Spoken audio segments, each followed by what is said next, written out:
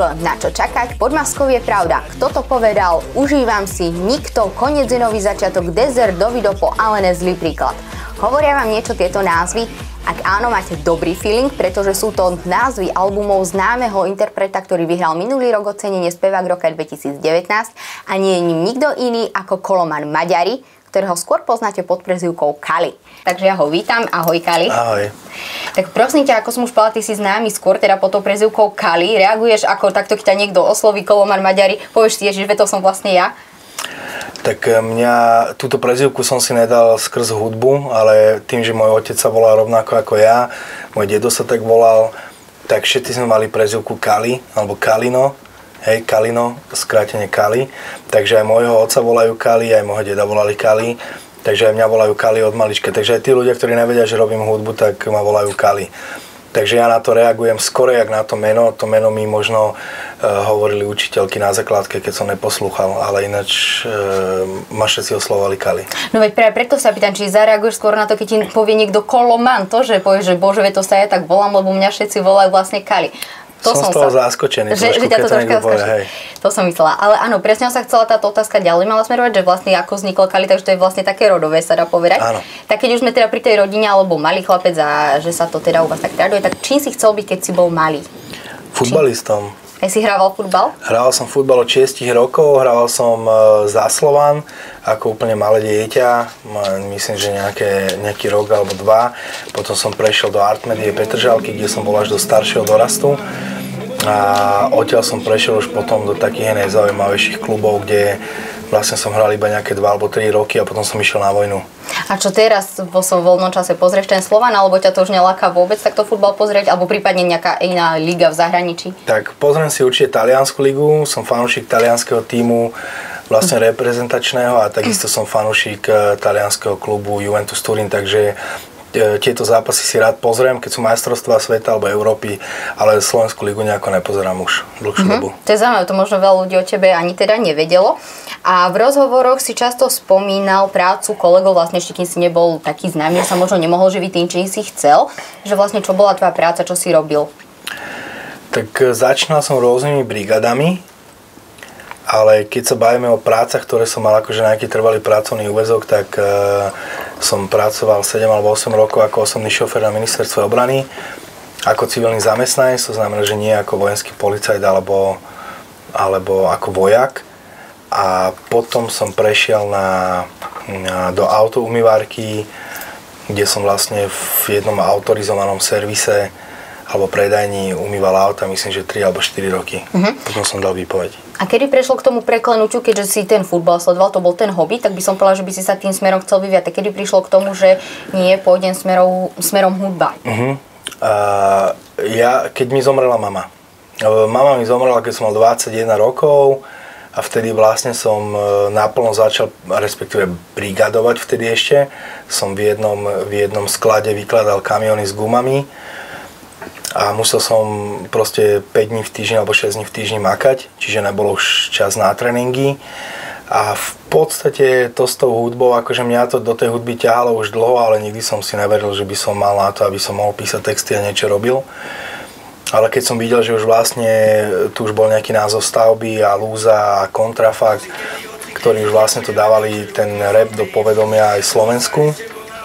V Čechách to bol India Witch tak, alebo, alebo ešte PSH a Chaos, tak, e, tak vtedy som si povedal aj ja, že začnem aj ja niečo písať, ale to už to, až, to bolo až myslím, že keď som mal nejakých 25-26 rokov, čiže, čiže to bolo 5 rokov potom, čo som skončil s futbalom. No. Uh-huh. A to si začal popri tom zamestnaní len tak najprv sebe doma, alebo si začal nahrať, lebo vlastne tá nová krv EP je možno mnohým neznáme, keďže ty si vyletel potom s tými albumi? E, vtedy som začal si písať texty vlastné, a nahrávať ich do hudieb, ktoré som si v tom čase kupoval. A myslím, že až pesnička s takým názvom, nechcem to ani hovoriť, lebo to by sme museli vypípať, tak vlastne tá sa tak dostala nejak do povedomia a potom neskôr to bola pesnička taká, že čo už urobila také úplne, také trošku halo, ešte v tom undergroundovom svete, repovom, hiphopovom, tak to bola pesnička Som hrdý, ale to už bolo myslím, že rok alebo dva na to, čo som vôbec začal niečo tvoriť. Uh-huh, vieš, ktorá mňa presne, keď som ja začala vnímať, som mal pocit a čakala som, či povieš, ja som myslela, že to bola pieseň jedného dňa.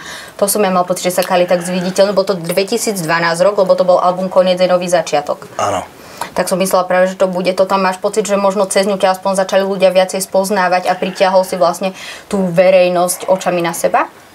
Uh, presne. Uh, tí undergroundoví, striktní hiphopoví fanúšikovia ma začali evidovať od pesničky Zaplať keci, Píp alebo Som hrdý. A takéto mainstreamovejšie publikum ma začalo presne evidovať od pesničky jedného dňa, ktorá ale bola nahratá oveľa dlhšie alebo oveľa skorej, ako vlastne vyšiel album Konec nový začiatok, mm-hmm. my mhm. sme ju tam len, len vsunuli už. Aha, to je stranda, vidíš, a táto vyniesla na ten, na ten povrch. To bol náš prvý milión zliadnutí na YouTube. Mati. pesnička. Uh-huh. No ja, ja, ja si pamätám, bola ako krásna, tým sa Kali dostávalo do uši a do povedomia. Uh-huh. Zmenil sa ti vlastne život úplne, dá sa povedať, od tých okamihov, ako vlastne každému, kto by sa dostal na túto scénu, tak vlastne čo iné možno by si ty vypichol, okrem samozrejme slávy, toho, že si videný, možno peniaze, že čo ti to vlastne dalo v živote, čo, ako to ty vnímaš? Vieš čo, dneska to už môžem tak povedať, že mi to dalo úplne nový život. Nie len v tom zmysle, že sa zarába viacej, ale v tom zmysle, že vďaka hudbe som spoznal vtedy ešte na albume Podmosko je pravda, mi hostoval na jednej veci aj Separ. Mm-hmm. Od tej doby som vlastne s ním bol nejako v kontakte. E, za nejakú dobu sa dal Separ dokopy s Tinou. Tina chodila ku mojej teraz, terajšej manželke na nechty. Hm dala ma dokopy s mojou ženou a dneska už je to moja manželka a máme spolu dieťa, čiže keď sa bavíme o tom, že čo mi dala hudba, tak keby som to mal tak, tak e, veľmi jednoducho povedať, tak dala mi rodinu. Mm-hmm, to je krásne povedané. A v podstate veľa, no všetko, také poprepletané v tej hudbe, že si vlastne naozaj veľa získal. Vieš čo ti, ja idem vypichnúť taký jeden rozhovor, kde som tiež našla, a kde si spomínal, ešte takto sa v začiatku s tebou niekto rozprával a bolo to, že si rozprával, že mám akorát auto Peugeot, to bola, že raz by som chcel možno jazdiť na Audi A7, to bola, alebo Mercedes CLS. A ty si to už asi dávno prekonal, teraz neviem, či je to teraz, ale bolo to Jeep Trailhawk že si mal, že ako to vnímaš možno aj z, tohto uhla pohľadu, že sa pozrieš, že bože, ako sa to aj v tomto vlastne mení, že čo si človek môže dopriať, že aj z takéhoto uhla pohľadu. Že to Jasné, že človek, človek uh, má trošku iný život. Uh, len v konečnom dôsledku už sa vidí vlastne len to, čo je na povrchu, len ľudia nevidia presne, jak, jak je nejaká tá fotka takého ľadovca, kde špička trčí a vlastne všetko, čo je pod tým ľudia nevidia. Čiže naozaj na, e, za tým strašne veľa úsilia, veľa prebdených nocí, veľa stresov. E, zo začiatku som si bral k srdcu veľmi aj všelijaké hejty. Tým pádom akože sa ma to bytosne dotýkalo a bol som z toho naozaj taký, že, že smutný. A človek musí naozaj stále tvoriť. My sme vydali 10 albumov za 10 rokov, čo to neurobil nikto. A solových albumov. Takže je, je za tým toho veľa. Hej, dneska už nemám Peugeot a ten Jeep Trailhawk som dal, eh, Grand Cherokee som dal manželke, lebo som chcel, aby s dieťaťom mm, bola v bezpečnejšom aute než malá. A ja som si v podstate až teraz tak prvýkrát splnil nejaký sen, že som si kúpil také vysnívané auto, ktoré som chcel. Ale keď teraz sledujem tie sociálne siete a sledujem vlastne, čo sa všetko tak deje naokolo a vidím všetky tie deti, ktoré potrebujú pomoc alebo rodiny, tak e, som v prvom rade vďačný za to, že aj skrz tú hudbu mám cez týždeň kopec voľného času a môžem naozaj všetok čas stráviť s rodinou. Môžem im dať všetko, čo potrebujú. Už som v podstate aj na tom treťom mieste. v prvom rade je určite aj naša dcéra, potom manželka. A a vďaka hudbe si môžem teda plniť to, že môžem vlastne splniť ako, ako muž to poslanie, ktoré má každý, že je postarať o svoju rodinu. Mm, to je pekné, že ideš týmito cestičkami povedať aj to, že môžeš pomôcť aj iným, pretože vlastne ty aj v tom modre z neba, alebo hoci kde dieťa máme možnosť vidieť. Hej, no dneska, dneska áno, hej, modré z neba, alebo, alebo v siedmom nebi, alebo mm. jak sa to teraz volá, tak uh, už som bol trikrát a je to niečo, že čo vo veľkej miere ľudia si povedia, že doješ tam a ideš pomáhať na oko. Je to pravda, je to, je, to, je to v telke, pomáhaš v podstate tým, že to ľudia vidia, ale aj tak niekomu pomáhaš. ale dneska sme napríklad posielali s manželkou peniaze deťom, ktoré potrebujú pomoc. Uh, sú interpreti, ktorí nie sú tak známi, ktorým sme zaplatili s Petrom Pánom vydanie albumu. Sú športovci, ktorí vo svojich začiatkoch potrebovali podporu na to, aby si mohli kupovať výživové doplnky alebo chodiť niekde na kempy. To sme im platili a to všetko na kamere nebolo. Takisto sa stalo, že mi jedna známa zavolala, že má niekoho, kto má proste dieťa, ktoré sa narodilo predčasne, potrebujú nejaké peniaze, stretol som sa s nimi vonku, dal som im peniaze. Nechcem to menovať nikoho, nechcem, ani som to nikde nevešal. Tým chcem len povedať, že veľmi ma mrzí, keď niekto povie, keď niečo vidí v telke, že robí sa to na oko, lebo presne to, čo vidí, že sa robí len na oko, je len zlomok toho, čo sa robí aj mimo toho, o čom sme nikdy nerozprávali. A som rád, že naozaj vďaka tej hudbe môžeme pomáhať ľuďom a že to tým ľuďom naozaj pomôže. To je veľmi pekné. Áno, ľudia aj dajú von len to, čo chcú, že človek vlastne vidí len to, čo vy chcete, aby človek dá sa pre Kto ťa chce vidieť v dobrom obraze, Áno. tak bude vyťahovať na teba iba pekné veci, pritom nikto nie sme 100%. Keby niekto chcel kľudne na mňa akože vyťahne hoci čo zlé, čo sa mi v živote stalo, doma pozná. Ako alebo, na každého samozrejme. Alebo čo že... som spravil ako na každého. A takisto, kto ťa chce vidieť v tom zlom, tak bude na teba vyťahovať len zlé, eh, kto ťa chce vidieť v dobrom, bude na teba vyťahovať len dobré veci. Takže. Uh-huh. A myslím napríklad, že ty pomáhaš ale nielen aj takto finančne, ale tým ľuďom aj prostredníctvom tej hudby. Vnímaš to aj tak, že napríklad možno keď texty si niekto vypočuje, nájde sa v nich, snažíš sa aj prostredníctvom tohto pomáhať ľuďom? Ako zámer to není, že teraz uh-huh. píšem text e, taký, aby to niekomu pomohlo. Väčšinou tie texty, ktoré som napísal, lebo ja som sa potreboval z niečoho vypísať a oni sa potrebujú niečo počuť, tak sme si v podstate pomohli zájomne. Ja som sa vypísal a niekto mi dal ten feedback späť, že, e, že tá pesnička mu alebo ten text mu pomohol. Takže stretávam sa s tým často, že tie texty pomáhajú. Čo ma mrzí je to, že je taká doba, kedy tie texty už nemajú takú hodnotu? váhu a takú hĺbku a takú hodnotu, ale je to OK, beriem to tak, že proste uh, je taká doba, ľudia chcú počúvať hoci čo, len nech tá hudba ich baví a možno je to aj dobré, lebo aspoň nemyslia na to, že sú nejaké politické veci, že je niečo zlé, že niekto je chorý a tak ďalej. Len ja som ešte stará škola, čiže ešte stále si na tých textoch dávam záležať. A práve, že mňa to prekvapilo, aby som povedal, že práve, že tie texty majú hĺbku a práve, že možno práve, že vy to, čo dáte prostredníctvom vás a to je jedno, či je to ako ty a rap, ale niekto iný, že práve, že tí, kto si na tebe idú v úvodzovkách, že práve, že to váhu má. To Áno, že naši fanúšikovia to stále cenia, uh-huh. a, ale ja už akože to berem tak ako taká nová vlna, ktorá ide, aj tá hudba sa mení a v podstate človek sa mení zo dňa na deň z roka na rok. Hudba sa mení, filmy sa menia, hej. Kedy si to bol Titanic a, a ja neviem čo, vykúpenie z väznice Shawshane alebo Forest Gump, veci, ktoré majú hĺbku. Dneska to je X-Men 6, uh, Aquaman, Batman a Robin, hej. Čiže, ale ja to chápem, proste to je napredovanie doby a to isté je aj v hudbe, kedy si to boli klasické veci, dneska to je úplne o ničom inom, takže len ja som tá stará škola, ktorá si stále na tých textoch bude zakladať a či už tí fanúšikovia budú ubúdať alebo ne, tak je mi to v podstate jedno, lebo keby som sa prispôsobil dobe a robil niečo, čo k čomu nie som naklonený, tak by som strátil v podstate sám seba alebo svoju tvár. Že by to nebol ty. Mm. Keď sa bavíme o tých textoch, tak mne napríklad napadá, že ja som ťa vždy tak vnímal, alebo aj veľa ľudí povie, že Kali, to je ten, čo nehreší. Bolo to tak, že, lebo ty v tých svojich alebo začiatkoch, alebo tak bolo to tak, nebol to nejaký úmysel, že prostredníctvom tohto možno na tom trhu vodokách pre razom, lebo vieme, že sú interpreti, ktorí dokážu nahrať aj skladbu mm-hmm. celú len s vypípaním? Vieš, ja by som to takto nepovedal, lebo keď si vypočuješ moje albumy, alebo keby si si išla pesničku po pesničke, tak v podstate sa v nich reší. E, dokonca len sú tak nejak, je, je to také napríklad, ja to postavím na jednej skladbe, dosnívané, kde sa hreší extrémne veľa. Ale tým, že tá skladba má peknú hudbu, má pekný klip a má myšlienku a hĺbku, tak tí ľudia ako keby zabudli alebo prepočuli tie, tie slova.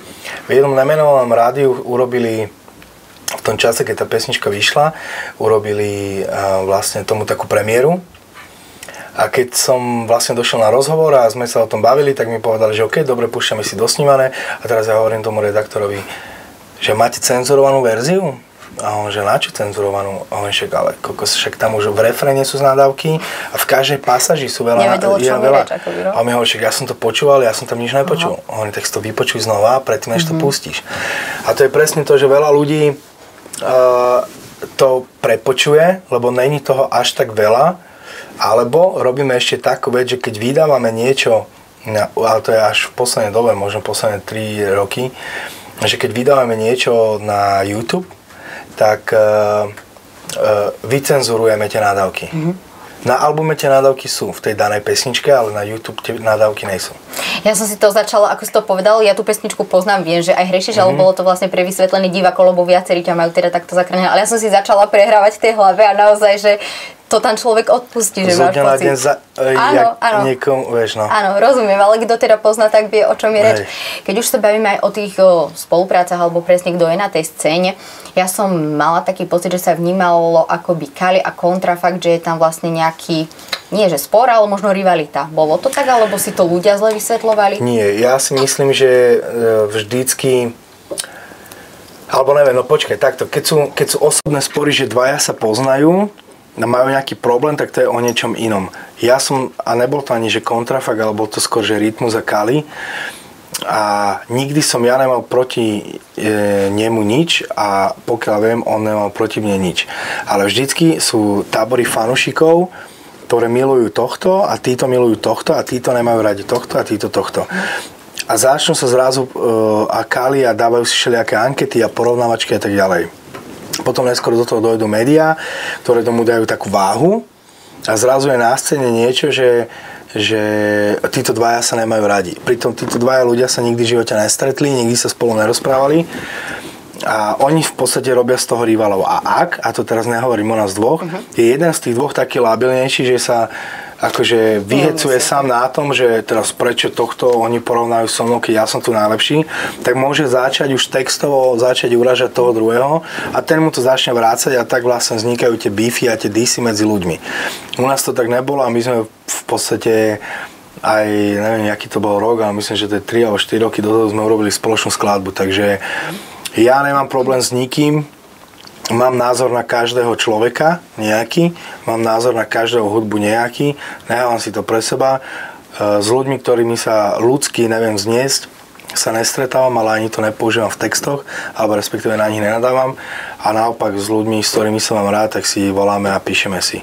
A nemusia byť naše tvorby uh, totožné. Uh-huh. Hej, príklad. Separa mám veľmi rád a robí úplne inú hudbu ako ja. A myslím, že nikdy nedojde k tomu, aby sme my dvaja na seba nadávali, to by muselo byť niečo osobné medzi nami, aby, sme, aby to prerastlo do takýchto nejakých verejných disov.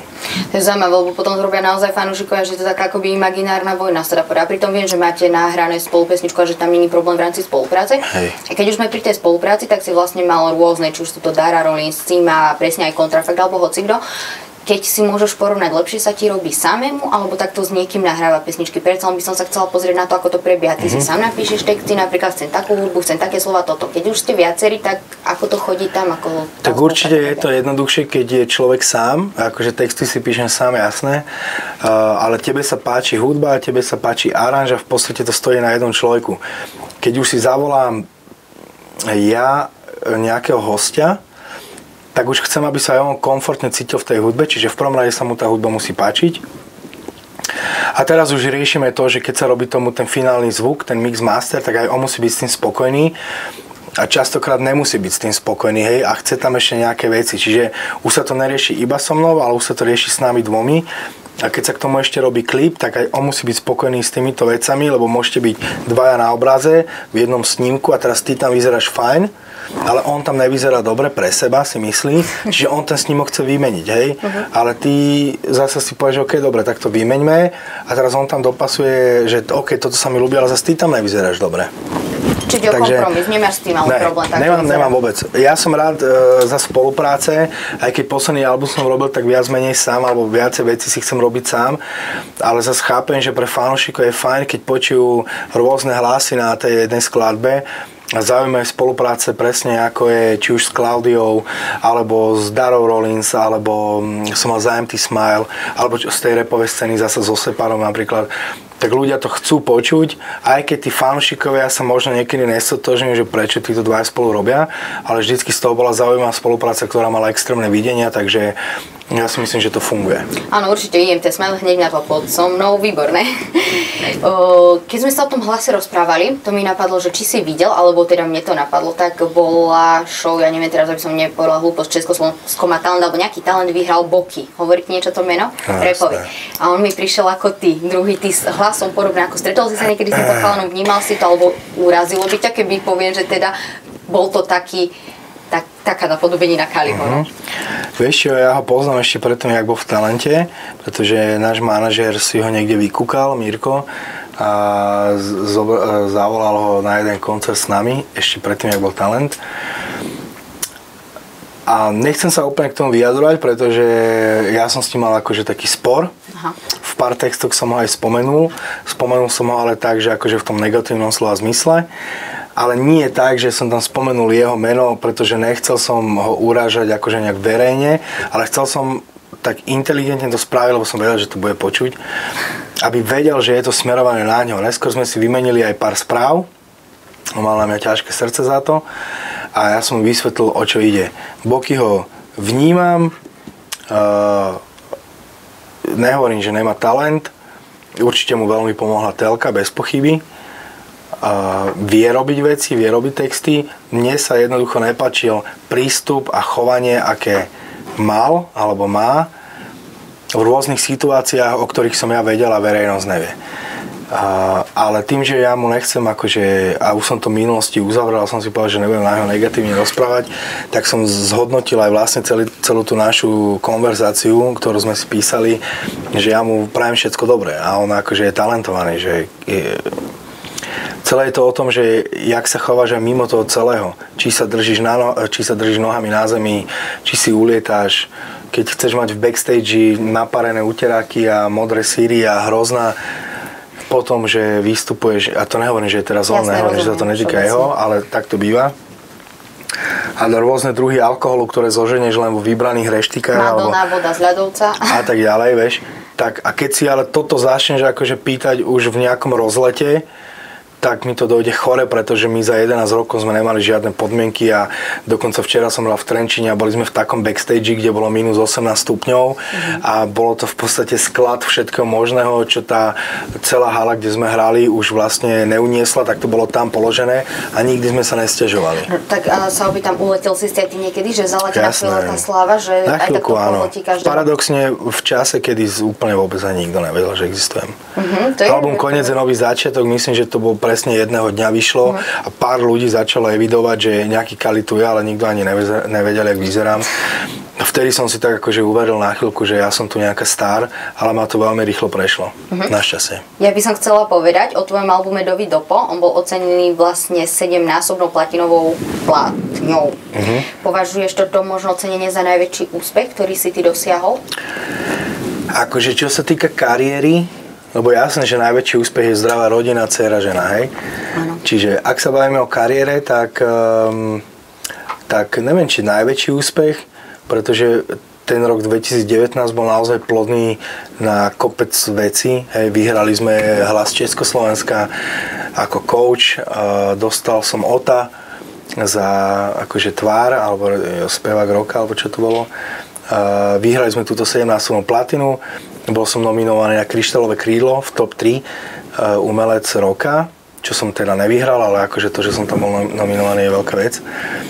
A čo sme tam ešte mali? Vtedy sme myslím, že 3 roky po sebe sme vyhrali v, v rádiu jednom uh, umelec roka, klip roka, e, song roka a tak ďalej. Čiže vážne si každú jednu cenu. Ja ešte sme vyhrali uh, Soza v Soze za album roka, za albumom Dovi Dopo, čo v podstate bola taká zásluha môjho manažera. Takže ťažko povedať a vypichnúť jednu cenu, že ktorú si vážim tak najviac, lebo každá má vrejme nejaký zmysel a nejaký, nejaký, nejakú tú hodnotu. Takže, ale áno, určite, určite áno, pretože to je niečo, čo som spravil, napísal, nahral, dal som do toho najviac úsilia a tí ľudia to naozaj ocenili, aj keď si myslím, že e, tam veľa zohralo aj to, že som bol na obraze v tom období. Uh-huh. Ono je zaujímavé možno, alebo paradox to, že vlastne tento album akoby nemal vzniknúť, že ono to malo byť výberovka vo formáte dvojalbumu. Čiže také, že ty niekedy... Si, ty kokos, ty to máš ak všetko zvedené, super. Hej, my sme chceli urobiť, my sme chceli urobiť výberovku tých najlepších, alebo naj, nie najlepších, takto, aby som nehovoril na svoje skladby, že sú najlepšie. Všetky sú najlepšie. Naj, najhranejšie na YouTube, ktoré majú najväčšie čísla, tak sme chceli urobiť vlastne uh, tak, také remixy so živou kapelou dvojalbum. E, jedna by bola vlastne o tých baladách, o tých pomalých veciach, druhej bola, druhé CD bolo o tých rýchlych. Ale dať dokopy kapelu, s ktorou reálne potom môžeš aj hrať, bolo ťažké a zdlhavé. A my sme medzi tým s Petrom Pánom začali robiť akože na singloch, že aby sme v podstate v tom roku aj niečo vydávali a tak, aby sme nezakapali. Tak, e, ale zrazu sa napísala jedna vec, druhá vec, tam potom myslím, že došla pesnička uh, Nejsem ten pravý, čo mal akože taký veľký úspech. Do toho ma oslovil Ivan Tásler. No a zrazu už boli nahraté skladby také, že som Dare som zavolal, tá súhlasila, čo bolo pre mňa, že wow, za čo moc ďakujem. A zrazu to bolo, neviem, myslím, že koľko pesničiek, 16, 17, 18, už si to len pamätám.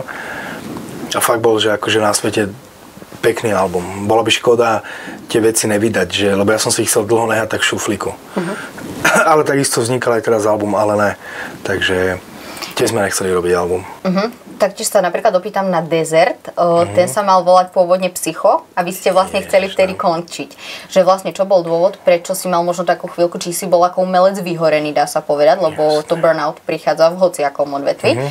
A vlastne či sa možno dočkame nejakého albumu s názvom Psycho? No už myslím, že asi ne. Psycho už asi nebude, lebo mám rodinu a dieťa a už vlastne tieto stavy nemám a to psycho vlastne malo odražať to, takúto moju druhú tvár, ktorú myslím, že má každý, lebo, lebo to neberiem to ako, že to je pretvárka, ale druhá tvár v tom zmysle, že č- ľudia ťa poznajú na tej verejnosti, kedy chceš byť akože milý k ľuďom a nemáš dôvod si nejaké svoje stavy vy, vybíjať na svojom okolí. Ale vnútorne môžeš cítiť niečo iné a vlastne to mala byť skladba presne o tých vnútorných veciach. A vtedy som prežíval také obdobie, že naozaj to bolo psycho, že som si ulietaval proste správa doľava, naražal som najprv o strop, potom o zem, čiže to bolo naozaj také psycho. Ale začali tie pesničky sa tak kopiť a už tam boli aj také pozitívne veci, že už názov psycho by nemal zmysel mm-hmm. tomu dávať, lebo by to bolo úplne od veci. Tak sme tomu dali, že Desert a kvôli tomu, že sme fakt mysleli, že to bude náš posledný album a vlastne máš, ne, máš... Hlavný hlav... chod menu a tak. Tak. Čiže to bolo preto desert. desert. A prečo vlastne ako by ten koniec ešte, že ste sa zamýšľali možno? Tak ja som v tom období naozaj už, už som bol fakt vyhoretý taký, že som nevedel písať vôbec texty. Aj keď som mal, alebo respektíve, možno som aj vedel písať, ale mi došli slabé tie texty. Uh-huh. Veľa som toho napísal a vymazal, alebo som si nehal, ale mi to došlo, že to je slabé a že už to nemá význam ako písať. V tom období som bol single a dosť som si akože uletel na tom, že, že už to proste nemá cenu robiť, že už sa tu zakuklím vo svojom byte, tam budem žiť, byť, proste nebudem komunikovať vôbec s ľuďmi. Došiel som do štádia, kedy som navedel zaspať, dostal som nejaké depky, ja som bol nejakých 5 dní v kuse hore, samozrejme bez drog, alebo, alebo bez nejakých takýchto omamných látok alebo nejakých oporných vecí, že človek musí byť hore. A to ma tak nutilo k tomu, že už sa mám na to fakt vykašľať. Ja som rada, ďakujem za tento aj príbeh, aj vlastne takéto ponaučenie, alebo tvoj životný vlastne názor, ktorý si nám takto akoby takú bodku dal. Ešte by som sa predsa len spýtala, či máš nejaký nesplnený sen. Nesplnený sen. Ešte o, stávame teraz dom a vždy som chcel e, svojej rodine, jak sa hovorí, jak to je postav dom, zase strom. Zase strom, áno, napadlo mi to neuveríš. psa. Máte psa? Čiže nemám ešte, lebo bývam v paneláku. Aha.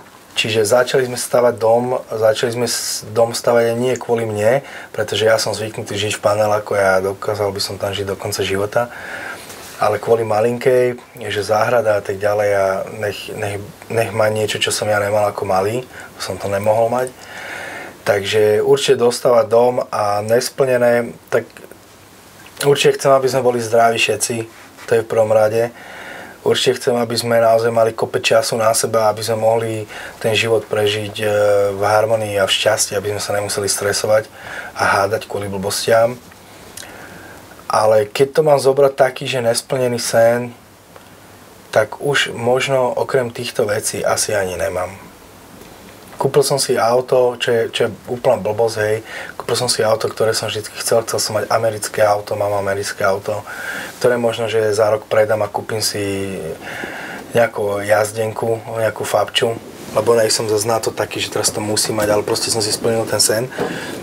A naozaj, možno, že ešte v zdraví mať ešte jedno dieťa. Jej, tak budeme ti držať palce, ti ďakujem za dnešnú diskusiu, prajem presne veľa zdravia tebe, malej žene a jednoducho to šťastie, lebo to je vlastne na všetko. Yeah. Chcem veľmi pekne poďakovať a vlastne vysvetliť, že my sme sa tu stretli za takých iných podmienok, že nenatáčame štúdio, lebo sa chystá vlastne krst Klaudia, Kali bol ochotný prísť vlastne predtým a natočiť diskusiu, čo si ja veľmi vážim a ďakujem ešte raz. No to počkaj, to je dojsť predtým o 3 hodiny s tým, že dneska má moja dcera narodeniny. A ja som aj chcela povedať tak všetko najlepšie ešte, takže túto diskusiu venujeme jej, keďže je to na jej narodeniny, to je úplne krásne. A ešte som chcela k tomu povedať vlastne, že bolo pekné, že kedy si si takto tiež pri tom rozhovore zdravil a vravel si, že pozdravujem tých stovky divákov, ktoré mám.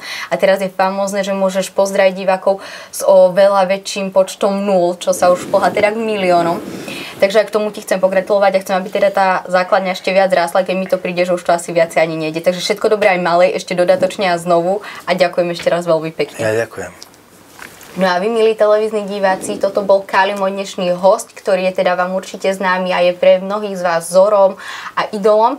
Dúfam, ste sa dozvedeli veľa informácií, ktoré ste doteraz nevedeli a ak nie, tak ma to veľmi mrzí. Budete si musieť kúpiť len listky na koncert, odchytiť si ho a opýtať sa ho na to, čo potrebujete sami. Veľa šťastia a dovidenia.